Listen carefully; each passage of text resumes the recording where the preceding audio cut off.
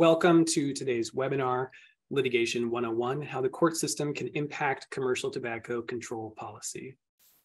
My name is Tom Pryor. I'm a new staff attorney here at the Public Health Law Center. I joined the Public Health Law Center from private practice where I did business litigation. Uh, and before that, I was in graduate school getting a PhD in political science where I studied American politics and the courts. So um, this is a topic that is near and dear to my heart, and I'm really excited to be here today to talk to you about these issues and really appreciate your time um, joining us to, to, cover these really important um, topics and ideas. A little bit about the Public Health Law Center. We're located in St. Paul, Minnesota at the Mitchell Hamline School of Law, which is itself located on the lands of the Dakota people. We're a dedicated team of attorneys, policy analysts, and support staff who work nationwide on public health policies in the areas of commercial tobacco control, healthy eating, active living, and climate justice. PHLC provides free legal technical assistance across the United States. Our legal TA includes research, publications, in-person trainings, and webinars like this one. We assist communities with policy development, such as our model K through 12 school policy, model smoke-free housing policies, and model commercial tobacco retail licensing laws. We can review local policies and provide sample language to achieve public health best practices, but um, we do have some limits on our work. We do not provide direct legal representation and we don't lobby. If you would like legal technical assistance for an area of commercial tobacco policy that you're working on, uh, please don't hesitate to reach out to us. At PHLC, we focus on equity more than equality. Uh, equity is about giving people what they need, which includes understanding barriers, circumstances, and conditions. In an equitable society, something like your race or your gender or sexuality should not be predictive of your health or happiness, and that's what, that's what we're working towards. And when we talk about public health here at PHLC, we try to take a broad view. We're talking about the social determinants of health, the network of policies and factors from housing to education to the criminal justice system that impact people's health and happiness. You know, the public health community does amazing work to pass policies that address those social determinants of health and that try to create a more equitable and healthier world. Uh, and that includes policies that address commercial tobacco. I'm just going to pause here for a second and note that when I use the term commercial tobacco, I do not mean the use of traditional sacred tobacco as part of indigenous practice or lawfully recognized religious, spiritual, or cultural ceremony or practice. Um, but when we think about public health policy, you know, we usually think about forming coalitions, engaging stakeholders, drafting laws, and discussing enforcement of existing laws. But what can often be overlooked is how lawsuits over those laws can disrupt our efforts. So this webinar is going to focus on how litigation can derail public health policy, why lawsuits themselves are often worth avoiding, even if you win, uh, and what you can do to help reduce or manage your litigation risk this is not supposed to be a condensed law school education. I'm, I'm going to assume that folks have an average awareness of the legal system, that you know you read the news and you watch the typical amount of courtroom legal dramas, um, but otherwise that you don't have any special legal knowledge. Um, and I'm also uh, not hoping that you come away with this knowing new Latin terms or specific rules of civil procedure, but the real hope is that you just get a better understanding of what we mean at PHLC when we talk about legal risk and what you can do to help better manage that risk. Um, importantly, I'm going to try to walk the line here of emphasizing the costs and risks associated with litigation without making it sound overly daunting. Um, and one thing to remember, I'll come back to this frequently, is that just because big tobacco sues over a law does not mean that they're right it's worth taking steps to reduce the risk of being sued. But at the end of the day, litigation is a fact of life. And sometimes your public health policies are going to be worth fighting for. Um, so we just want to make sure that we're approaching this issue with our eyes wide open and that we're taking steps to prepare so that we're not caught flat footed by a lawsuit. Um, and as a kind of final disclaimer here before I begin, I'm, I'm, I'm approaching this with the kind of assumption that we're talking about lawsuits in which the public health community, whether you are working on behalf of a city or a state or an agency, is the defendant in a lawsuit. Um, and I'll just caveat that litigation, as, as much as it can be daunting when you are the one sued, can really be a great public health tool when you are the plaintiff and you're suing somebody else, in particular um, big tobacco. So keep that in mind as we go through this. It is a double-edged sword. Oftentimes the public health community can use litigation to great effect in, in advancing public health, but that risk can rebound on us when we are the defendants. So with that, let's let's jump into it with a kind of very basic and fundamental idea, which is that litigation can derail legislation. Now, when we think about public policy in America, you know, you might think back to um, the the how a bill becomes a law um, Schoolhouse Rock video, right? Um, it starts in the legislative branch and then it goes through the executive branch and then that's it. And you know, when we think about the legislative branch, um, we're talking about anything all the way up from the U.S. Congress down to local city councils and everything in between. These are folks who are elected um, often to engage in the policy drafting process um, and to write and then deliver bills to the executive branch for their enforcement. And when we talk about the executive branch, then it's the same sort of thing. We're talking about anybody from the president of the United States all the way down to local mayors and local health departments with everything in between. And, and these are people or entities who are responsible for enforcing the law. Um, and in doing so, they often have the opportunity to shape how policy works. You know, so an obvious example would be federal agencies that can promulgate rules which determine the nuts and bolts of how a statute works in practice. But what's often overlooked in the policymaking process is the role that the courts play. And the main power that the courts have with regards to public policy in America is that people can challenge how laws are enforced through lawsuits, which basically gives the courts the ability to go in after the fact and then weigh in on those laws. So going back to kind of American Civics 101, the legislature drafts and passes the law, the executive branch enforces the law, but the courts get to interpret the law. And in some situations, they basically get to say how and when the law is enforced. What are the tools that courts have to do this? They can issue a couple different types of remedies or relief to litigants, um, which can impact the public policy process. Um, the first and probably most relevant one is the idea of forcing a party to do or not to do a certain thing. And they can do that through a couple of different means. Um, I'll just cover a couple here. One is the idea of declaratory relief, relief and the other is injunctions. Declaratory relief is basically just what it sounds like. The court would declare somebody's rights relative to somebody else's or declare whether a law is valid as enforced in a particular way against particular people. Injunctive, injunctive relief is basically the court instructing a party to do something or to stop doing something, like to stop enforcing a law. And really great, a great example of both of these forms of relief is a case recently filed by RJ Reynolds against um, the state of California titled R.J. Reynolds v. Bonta. And in that case, RJ Reynolds is challenging the application of SB 793 against so-called non-menthol sensation products. Um, the requested relief in this case is to prevent the California Attorney General's office from enforcing SB 793 against those products and actually have the AG's office retract some letters that they sent regarding them.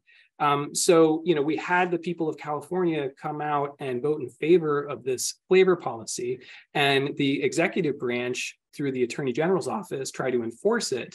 But there is a potential through this litigation that that enforcement will be limited or at least um, prevented as against these, these so-called sensation products. Another type of damage, or I'm sorry, relief that the courts can offer are money damages. Uh, these are more common when an individual sues the tobacco companies over product defects, but technically, a party like tobacco manufacturers or tobacco retailers, um, if they're harmed by a law, they can ask for money to compensate them for that harm. And that, that kind of risk of having to pay out damages um, can often stop jurisdictions from enforcing laws.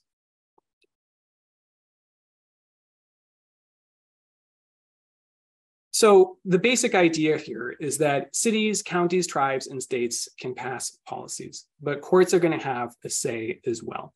And that's something we're thinking about when you're drafting those policies to begin with to make sure that courts don't come in after the fact and derail them. So we know that courts can step in and invalidate portions of policies after the fact, but just as important is how they do that litigation can be expensive and unpredictable and something that you might want to avoid in its own right, regardless of whether you win or lose. So to give you a sense of why that's the case, I'm going to kind of talk about the life of a case um, as it begins in the district or trial court and goes all the way up to the Supreme Court to really emphasize how time consuming and expensive litigation can be. So we'll start at a very high level here. Um, the typical life of a case begins in the trial court or district court uh, in California, that's called the Superior Court. And that's where the parties are going to build their case. They'll collect their facts, they'll identify their witnesses, um, they'll refine their legal arguments and present them to a judge or jury and have them weigh in. Um, after that, in most states, and California is one of them, the losing party will have a right to an appeal at an intermediary court of appeals. And that's basically where the parties get to say that, you know, the district court made a mistake of law and please won't you correct it. Um, if you lose at the Court of Appeals, you can petition the state Supreme Court to hear your case, but you don't have a right to be heard at the Supreme Court. The California Supreme Court has a discretionary docket, which means they can accept or reject these petitions as they see fit. And typically, they're only going to listen to the cases that have the most salient legal or policy questions. Now, just to complicate things a little bit, in America, we have two court systems that work in parallel to each other. So most cases are heard in state courts, but there's also the federal judiciary that operates in all 50 states too. Federal courts typically handle cases that pose federal questions, so a question over a federal statute or the federal constitution. And they can also handle cases with what's called diversity of citizenship when the litigants are coming from different states. Now, there are strategic reasons as to why you might want to litigate in either state or federal court, but for today's purposes, it's sufficient to know that they just they both work in parallel to each other. Um, they both operate very similarly, um, and that a question is usually going to be resolved by one or the other, but not typically both at the same time. To add just kind of one further a caveat or wrinkle to this, um, I'll throw in there that if your case begins in state court, you can litigate your way all the way up through the state Supreme Court. And if there's a federal question involved in your case, say you're suing over the federal US Constitution, you can then jump to the US Supreme Court and petition them to hear your appeal as well. Um, but like the California Supreme Court, the US Supreme Court has a discretionary docket. Um, they only hear between 60 and 70 cases a year. And so typically they, they reject those petitions. All right, let's, let's start at the Superior Court here because that's where the case begins. That's where it really develops and evolves. Um, I've created a very simplified uh, kind of timeline of what the life of a case looks like in the Superior Court. And we're going to talk about each of these key events or stages in turn, again, to just give you an emphasis of what litigation looks like on the ground um, and, to, and, to, know what you might be getting into uh, if you happen to find yourself on the other end of a lawsuit.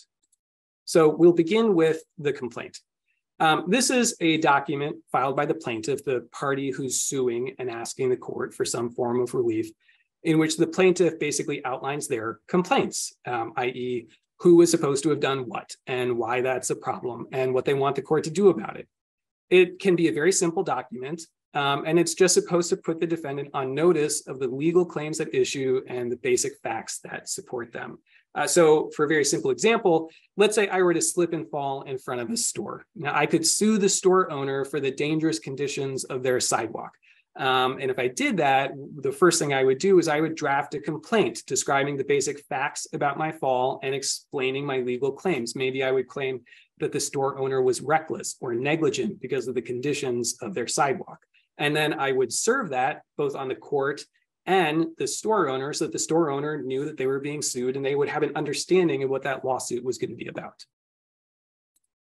Then the next stage is that the defendant either needs to answer the complaint, basically say whether they agree or dispute various allegations made within it, or file what's called a motion to dismiss. In California, often called a demurrer, which is kind of an old fashioned legal term, but that's they're still using it. So that's what we'll go with. Um, that's basically a motion that asks the court to dismiss either the entire case or just elements of the case, because according to the defendant, there's something fatally flawed about the plaintiff's theories or the facts that they've identified in their complaint, and saying that it would be a waste of time to proceed any further in litigating. Um, now, importantly, a motion to dismiss or a demurrer is supposed to be based on purely legal arguments. You have to assume that the facts in the complaint are true and cannot introduce any new facts. So in my slip and fall case, to continue the example, the store owner might move to dismiss because even if taking all the facts in my complaint is true, there might not be a viable claim. Um, that could be because, for example, there's a defect in the facts as I pled them. Maybe I included in the complaint that actually I tripped in my shoelaces. So even according to my own complaint, it wasn't the store owner's fault. Um, more often, though, it's going to be because of some legal defect. Maybe, for example, there's a state law that protects store owners from these sorts of lawsuits. Typically, most cases are going to survive a motion to dismiss, and that's by design. You don't want judges throwing cases out before they even begin. You want to give the plaintiff a chance to develop the facts and ultimately present them to a jury. Um, but in the world of public health litigation, it, it, would not be very uncommon for a case to be decided on a motion to dismiss. And that's because the facts are usually clear and the issues are typically purely legal. Um, so does a state law preempt a city from passing a smoke-free ordinance? Does the First Amendment protect a retailer's right to advertise in a certain way? Those are claims that can often be resolved early on and sometimes are if you get past that, that first motion to dismiss phase, you then move into what's called discovery. Um, and this is really the meat of litigation. And it's where the most time and money is spent. So we're going to focus on this in a little bit more depth. Discovery is the, uh, the part of the case where both parties get to collect information from each other, either to support their claims or to defend against them. Now, normally you think of your notes and your emails as being private, and typically they are, but very often in litigation, they are discoverable, um, which means that the other side can ask to see them and you'll have to produce them unless they're attorney client privileged. And, and, we'll come back to that at the end. Um, so basically, any document or communication or information that you have that is going to be relevant to the claims in the case is discoverable and if requested should be produced to the other side. That includes electronic information like emails and texts. It includes physical documents. It includes your own memories and recollections and basically everything under the sun. Um, discovery is very broad by design, and that's because in the American court system, you're not supposed to be able to escape legal liability by hiding incriminating documents. Now, that doesn't mean the other side can get everything. Um, there are some ways of limiting discovering to requests, and typically that's by arguing that producing the requested information is just too burdensome or expensive relative to the value of the information, or persuading the court that the requests are just wholly irrelevant to the case. Um, there's a couple different types of discovery requests that are worth knowing about, um, and those include written discovery requests. So some of those might be um, what are called requests for admissions. So in my slip and fall case, I might send a request for an admission to the store owner asking them to admit that they own and control the sidewalk in front of their store, admit that they kept the condition of the sidewalk in disrepair. Um, there are also interrogatories, and those would be written questions that are more general. So you might ask the store owner, um, how many people have slipped in front of your sidewalk? What do you do to keep that sidewalk safe to pedestrians and things of that nature? There are also requests for documents, um, both electronic and physical.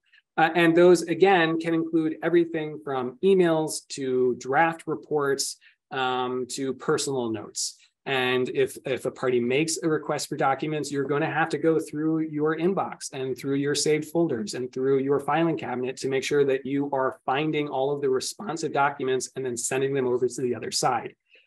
And then there's depositions. Um, a deposition is basically like a cross examination in which a lawyer will ask questions of a particular identified witness, except it doesn't happen at trial and in a courtroom. It happens before trial and typically, you know, in a conference room. Um, so, you know, think about your typical kind of TV cross exam in a courtroom, except imagine it in a Marriott hotel um, and have lasting eight hours with, with an attorney. And then everything that you say in that deposition is likely and, and possibly going to be used in the court case as evidence. So what's what's the upshot of all this? Why do we focus on it? It's to emphasize that discovery is expensive. The labor cost of finding and producing relevant documents alone can be immense. And it's also very time consuming. It can last months, and people up and down your organization might be involved as witnesses, or they might have to be interviewed to determine if they have relevant documents. And it can be embarrassing. Um, the things you said in an email to a coworker or the things you said in a deposition to a lawyer um, will become available to the other side, and they can even be made public in legal briefs. You know, courtroom dramas, they usually gloss over discovery disputes or, or they do it through a kind of montage sequence. But this is what makes and breaks most cases. And it's worth thinking about in the event that you get caught up in a really fact intensive case with a lot of discovery. All right, now usually as discovery comes to a close, one or both parties will move for summary judgment. Summary judgment is similar to a motion to dismiss in that the party will be asking for a judgment in their favor before the actual trial on the basis that the evidence is so one sided that there's really no reason to proceed further. Um, the main difference between summary judgment and a motion to dismiss is that at the motion to dismiss phase, you're really raising what amounts to just purely legal arguments, and any facts you include have to come from the complaint itself. But at the summary judgment phase, you can introduce all of the facts that you've been collecting through the discovery phase. So in my slip and fall case, for example, I might move for summary judgment and say that there's no purpose to proceeding to trial because the evidence is overwhelmingly in my favor and no reasonable jury could rule for the defendant. Maybe I have multiple eyewitnesses supporting me and some emails from the store owner in which they acknowledge the dangerous conditions of their storefront sidewalk. Um, just to be clear, though, there is still a high threshold to win on summary judgment. Because, like at the motion to dismiss phase, we don't like the idea that a judge is making these decisions instead of a jury. The final stage of trial, if you get through all of the proceeding, is trial, of course. Um, I'm not going to focus on this too much because you probably have a, a, decent idea of what those might look like from movies and TV shows, but I am just going to touch on a couple of things um, first, you know, you have a right to a jury trial, but you can waive that right and have a judge trial instead. Um, there's various strategic reasons for waiving the right to a jury trial that we don't really need to go into, but I just mention it because it's a common misconception that you always, you know, anticipate there being a jury in the room um, at the trial phase, but but sometimes it's just the judge. Um, and I will also note that even if, if the trial lasts just a few days, um, it can still be very expensive to prepare for when you prepare for trial, you have to collect all the exhibits, you have to line up your witnesses, you have to prepare them, you have to draft opening and closing statements and game plan and practice everything. And so it can take a week or more to prepare for just a one day trial.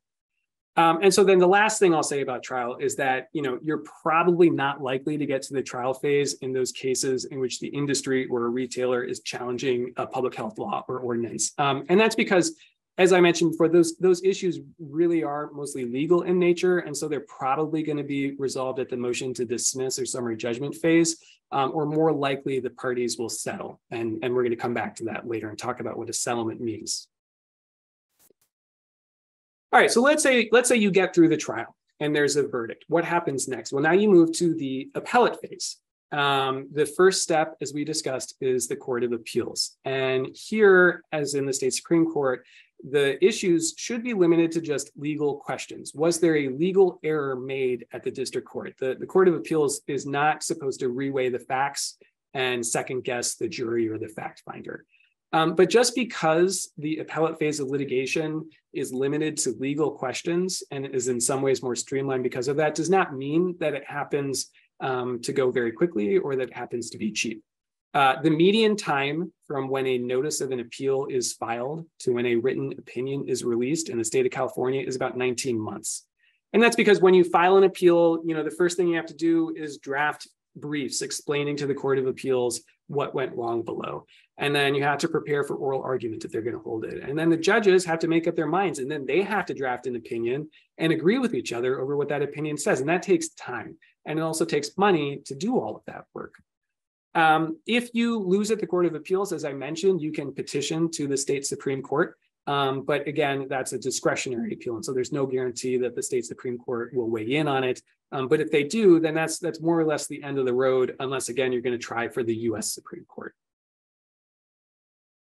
So everything that we just talked about is to give you a sense of what litigation looks like and how it works. And that's by way of emphasizing that litigation is expensive both in terms of dollars and time. Civil suits can easily take two to four years to be fully resolved. And so, even if you end up winning at the end of that four year period, most people wish that they didn't have to go through that to begin with.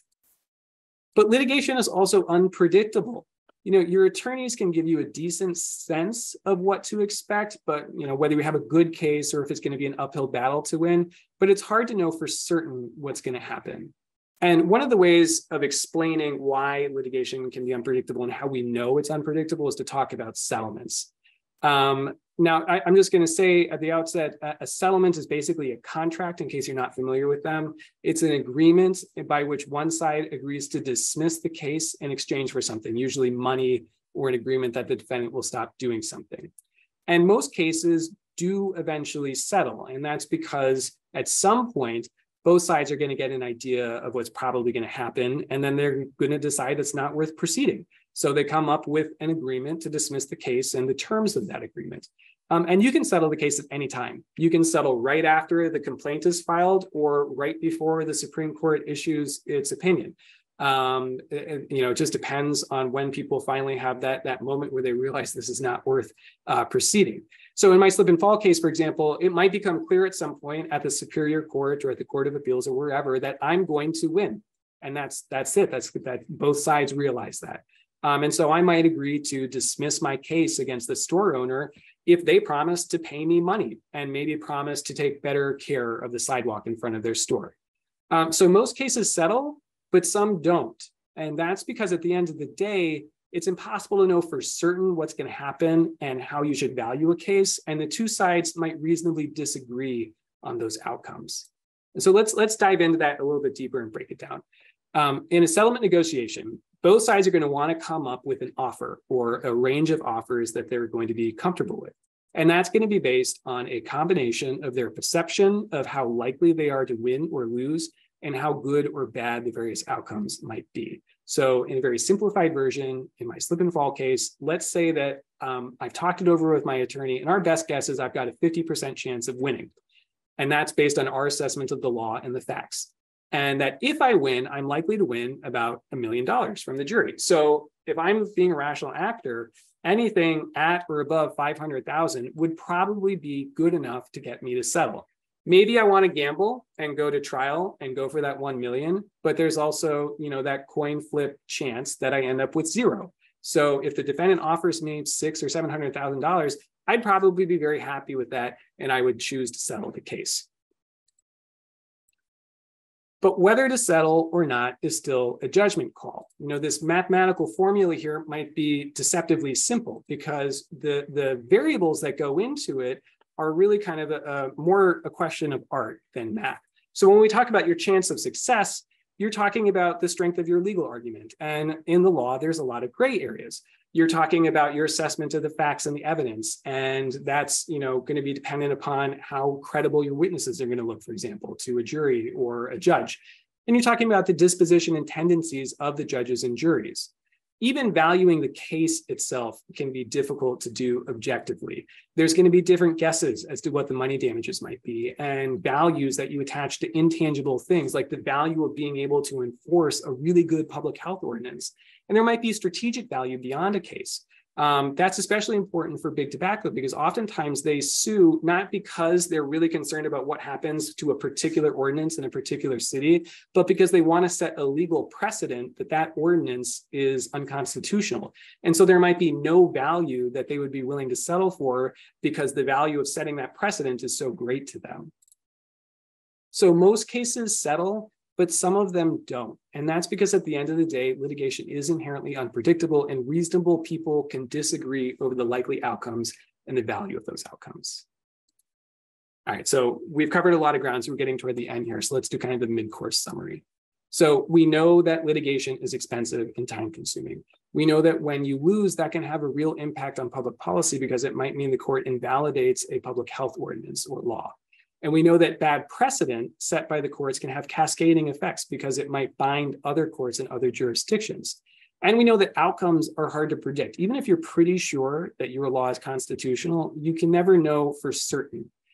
And most importantly, the industry knows all of this. And so they will oftentimes threaten litigation in order to get their way because they know that people are going to be worried about all those things we just talked about and maybe think that it's not worth pursuing um, just because of that threat. And that's what I mean by legislating in the shadow of litigation. Sometimes that looming threat of litigation can impact your policymaking choices without a lawsuit ever being filed.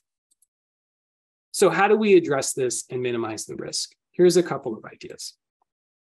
First of all, find out who your attorney is and work with them. Hopefully, all of you are attached to somebody, whether it's the attorney general's office or tribal counsel or some other in house counsel, who can walk you through the potential litigation threats to your policies. So, find out who those people are and form a relationship now and run by your policy ideas with them early and often so that there's a chance for them to give you guidance and for you to implement that guidance. Secondly, assess your risk tolerance. Remember, just because big tobacco sues over a policy does not mean they're right. You have to weigh the public health benefit of your policy against the risk of losing and the cost of litigation.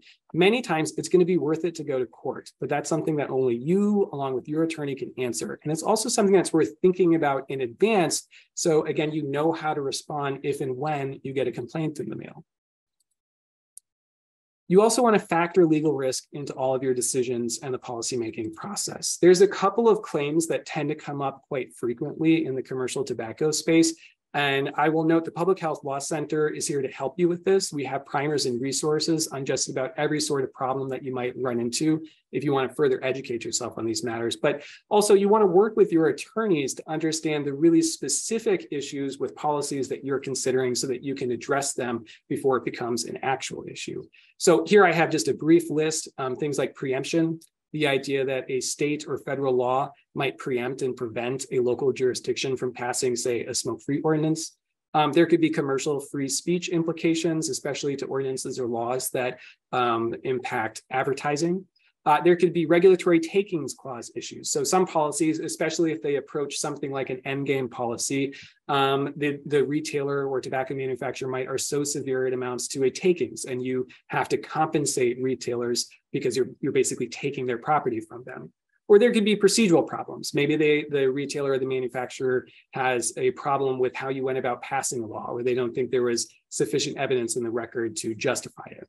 Um, in any event, you want to kind of explore those and other claims um, as you go along to help address and mitigate them so that if your policy isn't litigation proof, at least the risk of litigation goes down. And then finally, this is kind of a, technical way to end, but I, I, do think it's important. I want to return to the idea of attorney-client privilege. Um, now, we talked about in discovery how basically everything that's relevant to a claim is discoverable except for privileged communications. And what I mean by that are communications, written or oral, between you and your attorney that are held in confidence and in which there you are seeking legal advice or the attorney is giving legal advice. And if those elements are met, that communication is attorney client privileged and is protected from discovery, and the other side can't get access to it. But I want to emphasize here this only protects communications between you and your attorney. It doesn't protect communications between you and your coworker or between you and your neighbor um, or between you and another lawyer who's not actually representing you. And it only protects communications that are confidential. So if you forward an email that your lawyer sent you in which they give you legal advice to somebody outside of your organization, you might have destroyed that confidentiality and that email then might become confidential or discoverable. Um, or if you talk about legal advice you give, um, again, that might destroy that confidence and make that communication discoverable in litigation. All right, so we've covered a lot of ground here, maybe a semester's worth of law school content. Um, hopefully you found that useful. Just as, as a summary at the end, um, and what I hope you've taken away from this is the idea that when we think about the policymaking process, you want to do everything that you've been doing, but remember that the courts are going to have a say as well, and they can derail even the best public health policies. Um, and even if you win after litigating, litigation itself is so expensive and unpredictable, oftentimes it's worth avoiding. Um, industry is going to use this as a threat to prevent good health, public health policy from getting out the door to begin with. And that's why we want to work hard to manage legal risk on the front end, because public health is worth that fight, and PHLC is here to help you in that fight. So again, appreciate your time. Um, hope you found that informative. And um, if anybody has any questions, uh, I'm, I'm open and available to, for the duration.